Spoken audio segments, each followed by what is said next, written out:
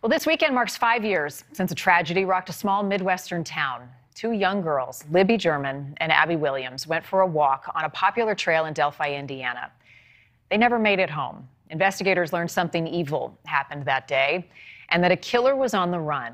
Now, five years later, despite releasing a video of him, sketches, even a clip of his voice, that killer has never been caught. Monday on News Nation Prime, we have a special report. We're going to take you to Delphi five years later to the crime scene that still haunts this small Indiana town and the people who are not giving up their push for justice. I have so much faith that every day we go without answers is another day that we're getting another step closer and that they're doing their job and making sure that they're gathering all the information they need to get an arrest made. What does that do to you as a mother?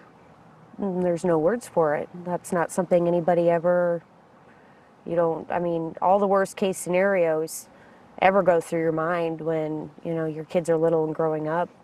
But that isn't one of the things you think that, you know, that somebody's going to take their lives. The detectives that have been assigned this, task forces have been assigned this, um, have talked to hundreds, if not thousands, of people.